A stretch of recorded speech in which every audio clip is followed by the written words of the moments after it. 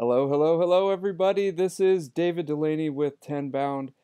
Thanks so much for joining us on the largest online sales development summit with Inside Sales and Sales Hacker. I am just absolutely honored to be able to share some hard-won information with you today that I hope that you can take and use immediately as a sales development rep, as an AE, as a sales leader, or leading a company. This is good stuff.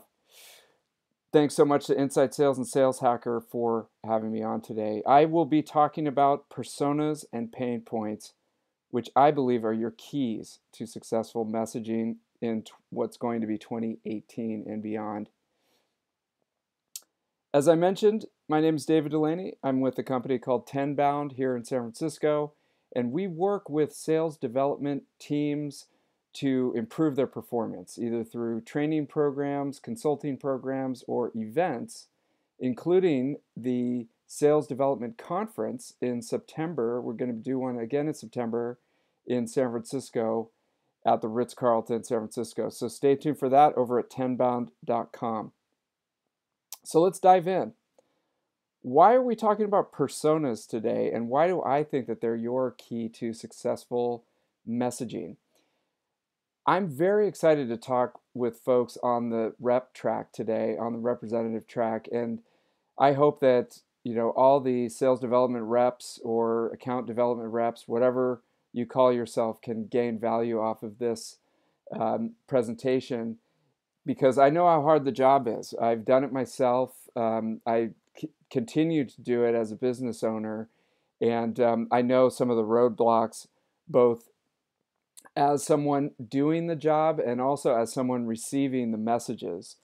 And so, why do we start with learning about personas uh, versus learning all about your product and how it works and all the different um, angles of uh, you know your product and your your catalog? What is a persona, and and where does this even come from? Uh, it comes from actually uh, user experience and how people use websites. Uh, they take who the person is that's using it, what their usual age range is, what their usual job is, and uh, you know the usual characteristics, and they kind of boil it down into a general way, a shorthand of saying who's actually using the product. And I really strongly believe that before you start to learn about all the great things that your product does, where you want to spend your time really focusing is who actually uses your product and what are the characteristics of that individual. Um, with really focusing on the people that actually are the end users, you're going to put yourself way ahead of the pack in your average SDR uh, you know type of skill development and put yourself at the front of the line when it comes time to get promoted to an account executives you know uh, the real competitor that we have out there is not necessarily the competitor that you're going up against. It's actually looks more like this. Um, it's competing for attention of the people that we're talking to and so, as you can see, this is just a recent uh, screenshot that I took. Um, you know, I've got 17 different tabs open of different projects that I'm working on. I've got six or seven different Chrome plugins of different things that I've, I've got. I've got 2,159 emails that I need to figure out what to do with.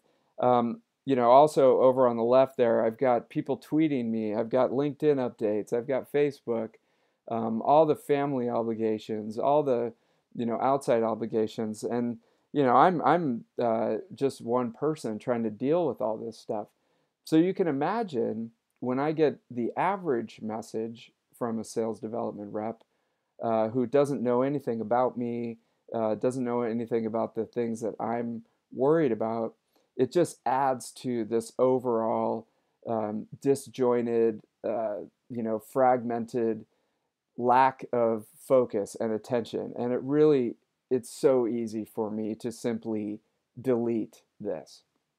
Um, you know, so so we have to be able to compete with this very very competitive market that we have out there, which is just getting people's attention, just getting them to pause long enough to read through our message and see if it's something that can actually help them.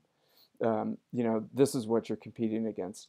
And this is why it's so important for you to learn, you know, who is this person that I'm trying to impact? Who is this person whose email box I'm going to be adding to with my message? Whose voicemail box I'm going to be adding to with my message? And, you know, what what makes them tick? And that's why, as I said, when you think about personas, um, make that part of your vocabulary.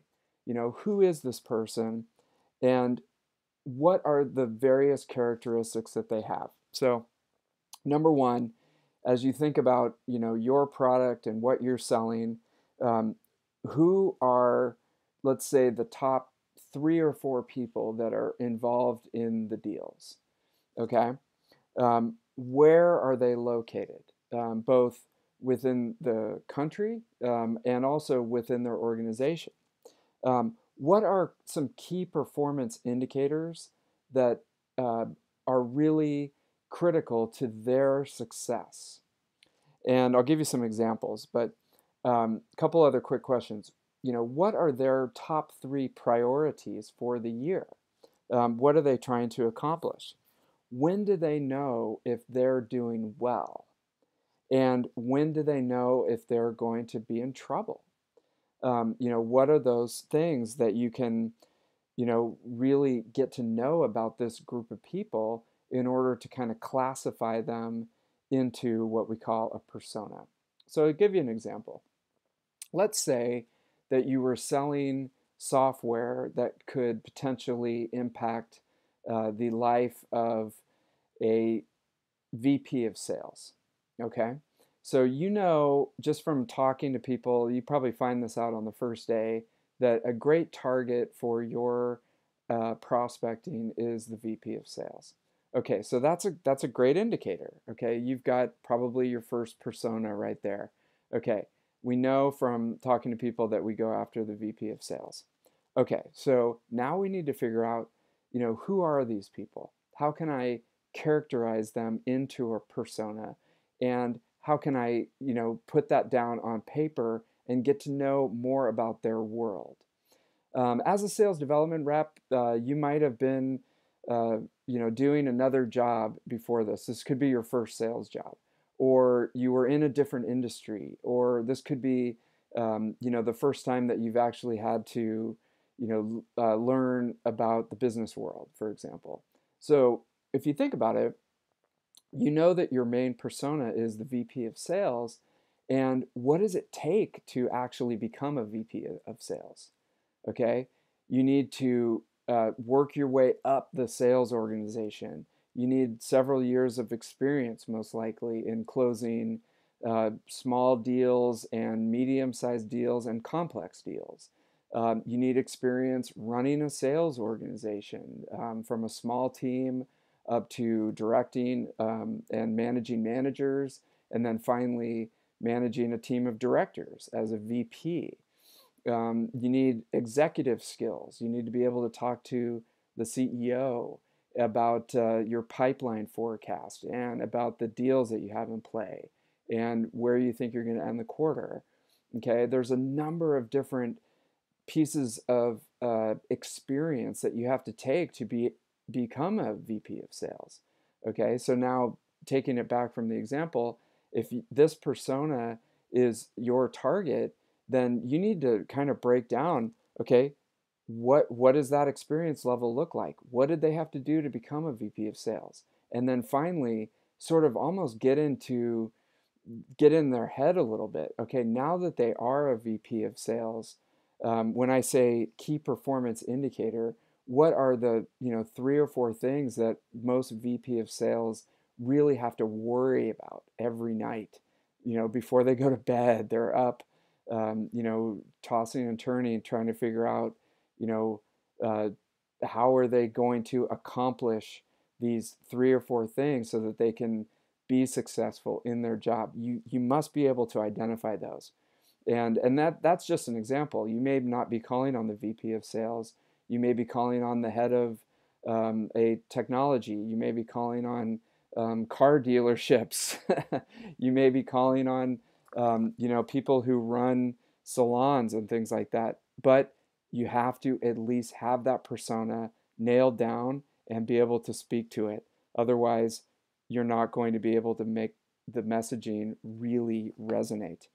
Because, you know, really, you got to get inside their head and also to some extent inside their heart. And, you know, we're, we're not necessarily uh, just people who are a name and a phone number in a database. Um, you know, even someone who's uh, you know, very high level executive is still a human being, um, and they're beyond uh, just a simple name and phone number and uh, what you may read about in your uh, CRM.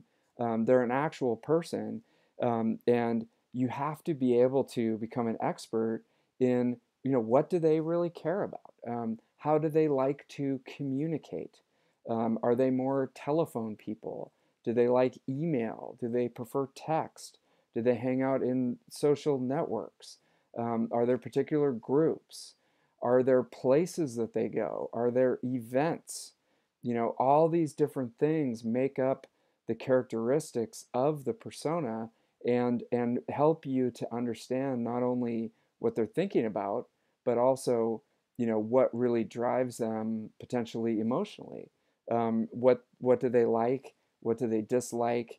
Um, you know, generally some facts that you can get about them so that you can take this information and create that persona uh, uh, profile that you can then create your messaging off of. And finally, as you kind of get that uh, persona profile put together, now you have to kind of shift it to yourself and think about, you know, what do you really care about? um, you're going to want to become an expert in the pain points and the the things that are really um, you know concerning your key persona. You're going to want to become an expert in that. Um, I would argue that it's even more important to become an expert in those pain points and those drivers versus necessarily what your product even does. I mean, that's very important but uh, and you need to tie that back and we'll talk about that but really thing number one is you know who is this i'll bring it back to the example who is this vp of sales what are those aspects of the persona profile that you've put together um, that drive them emotionally and drive their decision making process and do i really care about those things um, am i just trying to sell them something? Or am I just trying to land an appointment with them, but I don't really care?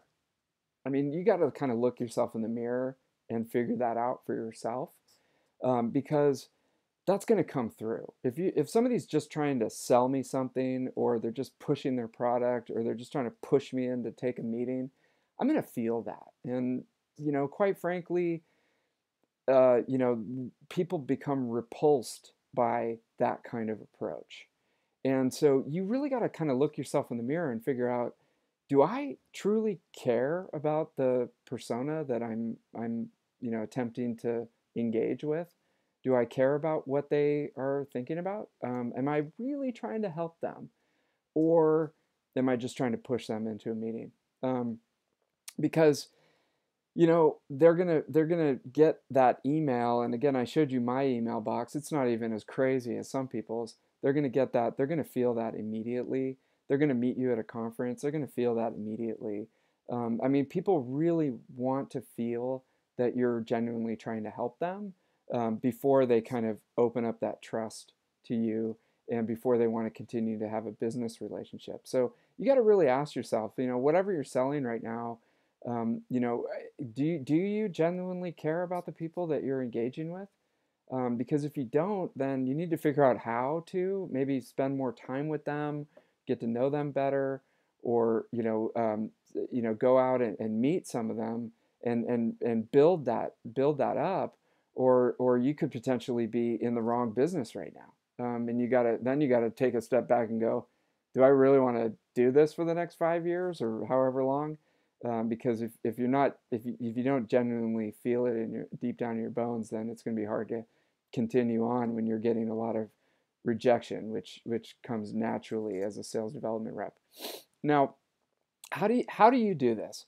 How do you go out and, and find these people um, and and start to learn about them? Again, if you're uh, starting out as a sales development rep and you haven't been a VP of sales for 20 years, how do you find this information? Well, thing number one is, um, you know, of course, read all the case studies that you have on hand. Um, read your your sales playbook if you have one. I'm sure that there's a lot of good information in there. Um, learn about um, I- any information that your company provides about the personas.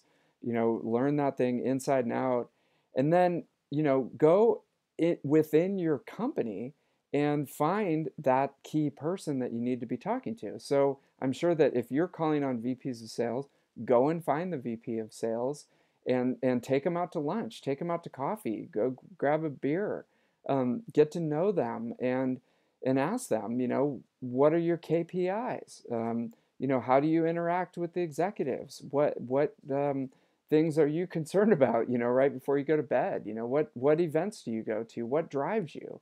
And and use that. You know, if nobody made a persona sheet for you, um, use that information to make one yourself and then go give it to your manager and, and tell them, you know, hey, I made this so that I could figure out who I was calling on. The, the next thing is, um, you know, take go find your number one sales rep at your company and take them out to lunch and go, look, you know, I, I want to learn everything that I can I can understand about the people that are buying this product, um, the people that are buying our service. What keeps them up at night? Um, what what are they concerned about? What what how are they measured? You know, take take notes and and cross check it against the interview that you had with your own VP of sales, and and use it to augment that persona profile that you created. Um, in order to really make sure that you've got uh, all the information that you can about uh, this this um, person that you're going to be calling on and you know create a little cheat sheet take it a step further um, make a make a quick uh, brown bag lunch for your team and present it and go okay you know i, I i'm new to this um, i needed to find out who these people were and what what what you know they were driven by so i went out and i talked to our number one sales rep and our own vp of sales and i put that together um, here's what i learned boom boom boom and then they can add more of stuff that they know about it you know, a couple of other quick things. Um, if if you can, um, go out and talk to the people that have actually bought your product, purchased your product. How are they using it? Um, you know, what are they doing? What problems is it solving? Why is it important? How is it helping? You know, gather all that information from those actual people because they're the ones that are, you know, the, they were a prospect at some point uh, in the past. They either became an inbound lead or someone cold called them to bring them into the fold and now they're using it and they're getting a lot of value out of it. So they're a perfect person to talk to. Um, you know go go out on a sales call and, and talk with them. Um, learn more about it. Um, you know even go up to uh, one, another idea go up to your ceo or the founder of the company you know? I mean depending on the, how big your company is if it's a startup take the founder out to lunch. Hey same thing. Why did you start the company? What problem are you trying to solve who are the people that are involved in this? Tell me more about them. Um, you know, give me all the information about you know why our com- our company's product is going to make their life so much better. You know, so that, that that I can really understand this. So you're gathering all this information as part of your your persona, um, you know, profile that you're putting together because we're going to be using it in the messaging. So again, do you really care about these people? Look yourself in the mirror make sure that it's something that you're passionate about and that you want to talk about for the next few years and then go for it 100% okay? Now okay we've got the persona profile put together we've got a pretty good idea about who we're talking about. Now we need to focus on the you know translating that from okay here's who we're talking to here's my potential buyer. We got to translate that into an action plan. And, um, you know, this is something uh, that your average sales development rep can do. It just takes a little bit of work at the at the upfront, but it's also going to be you know your your AE and your business owner that can put it together. So you just need two items. Very very simple to um, to think about, harder to implement, but you got to do that extra work at the upfront. You need two items. You need a list and you need a framework. Okay, so let's talk about the list. Okay, list. Um, you only have a certain amount of uh, time. You only have a certain amount of resources. So you really want to narrow down your list to those key accounts that would make or break your business. Um, and and these are ones that uh, you know, if, especially if you're thinking about outbound, these are the ones that I want to put my uh, time and resources toward that because they're going to make such a huge impact. Okay, got that list. Get that list worked out. Um, whatever you have to do, get it from your your account executive, get it from your CEO, get it from um, your own work of figuring out what your A accounts are. It's going to be different for every company, but you first got to have that list put together. Okay. Number two, the key personas. Okay, you've got. We start with one that you're going to know inside and out. You've done your interviews, okay? You've got your persona sheet worked out and you know you feel like you're kind of starting to get inside the head of the people.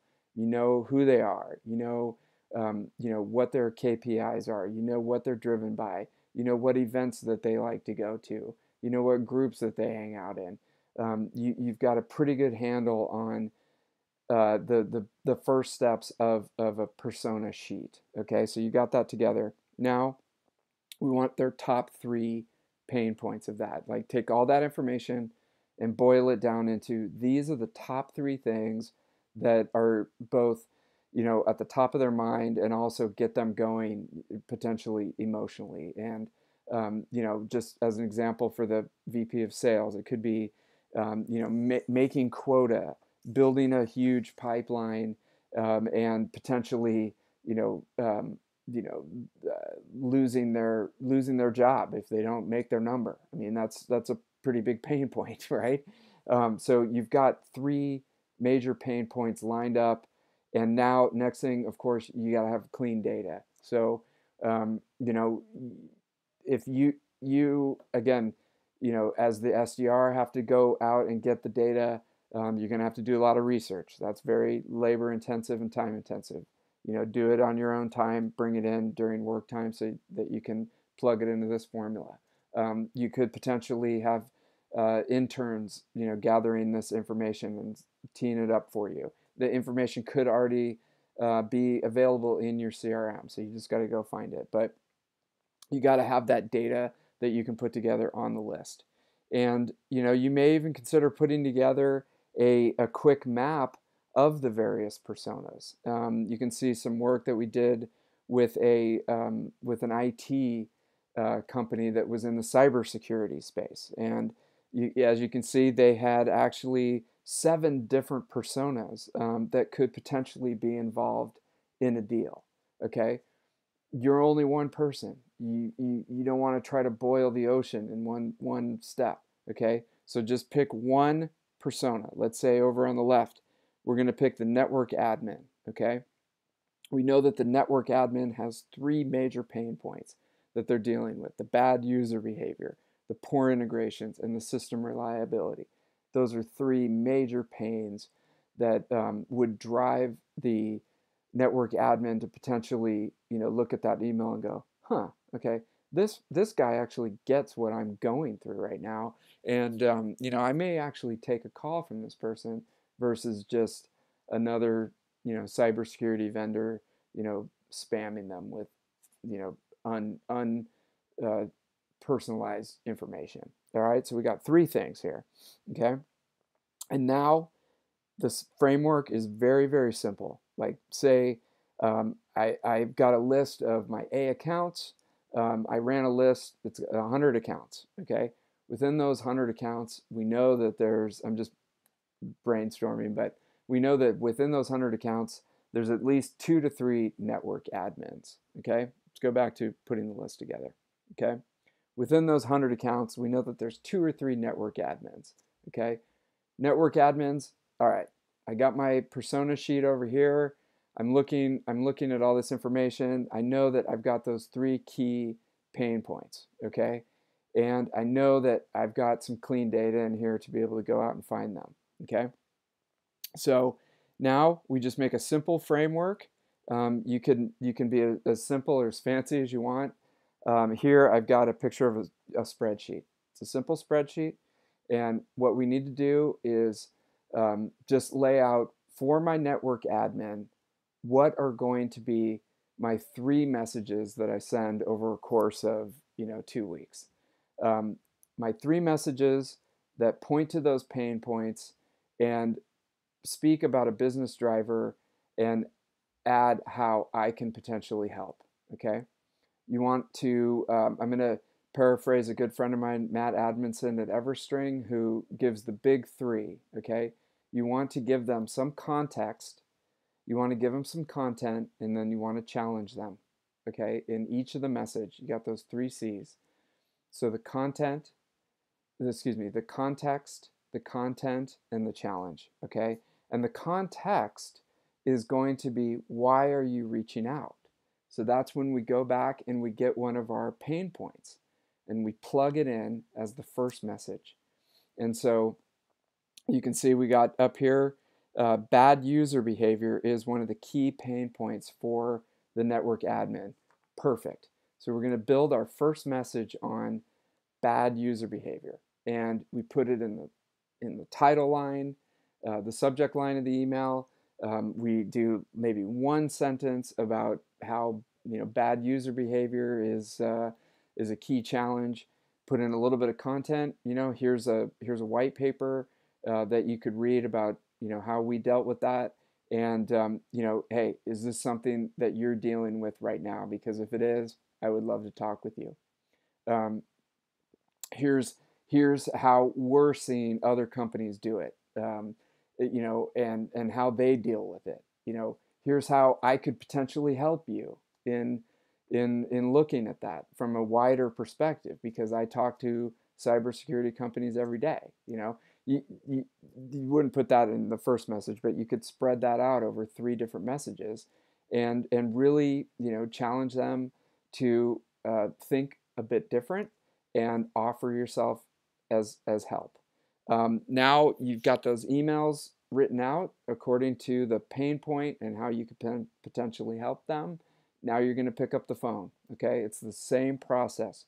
We're talking about the context why are you calling? It's because we know that network admins have this uh, pain point that they're generally trying to solve.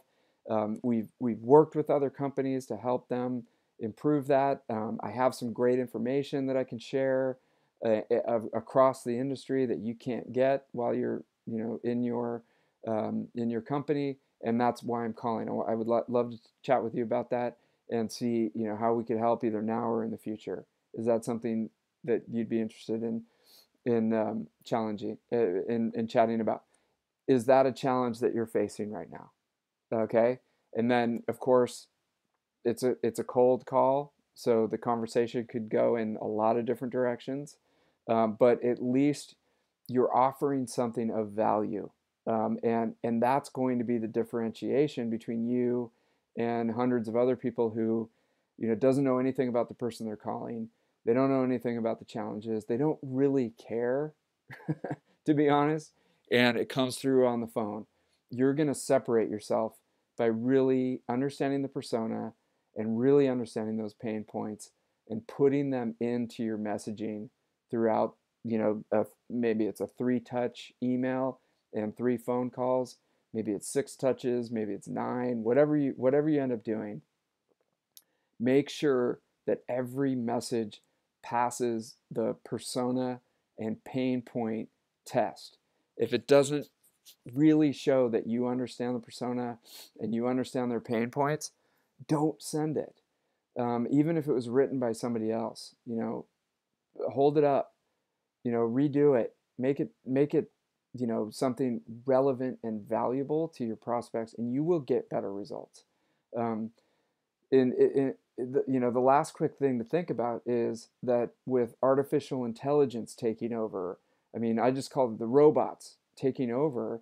Um, you know, we literally will be replaced by robots if we don't uh, use our, this human approach of really understanding the pain points and personas uh, that we're calling on. If we can't string this together and make it into something valuable, we will simply be replaced.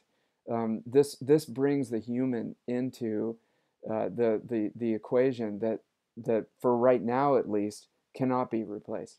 But literally, if you're just like pressing buttons on a um, a program that's sending out a hundred, you know, repetitive emails, or if you're just like robocalling and reading from a script, um, look out because you're probably going to be replaced. So, anyways, that's my soapbox. Um, hey, if if you would like to talk about this more, if you're interested in bringing this in and and doing some consulting or training at your company, um, our website's there. It's tenbound.com. Give us a call or just hit me up in the chat box. Um, and I would love to chat with you more about how to operationalize this because I know it's a lot of information and I know it's a lot different than probably um, you know you've heard from other sources. But I really feel that in 2018, um, doing the work on the personas and pain points and working that into your messaging will get you more appointments, will get you more sales, and ultimately make you a lot more money. And I think it's worth the time and effort to put in. So again, David Dulany with Tenbound, tenbound.com. Hit me up and good luck with everything and good selling.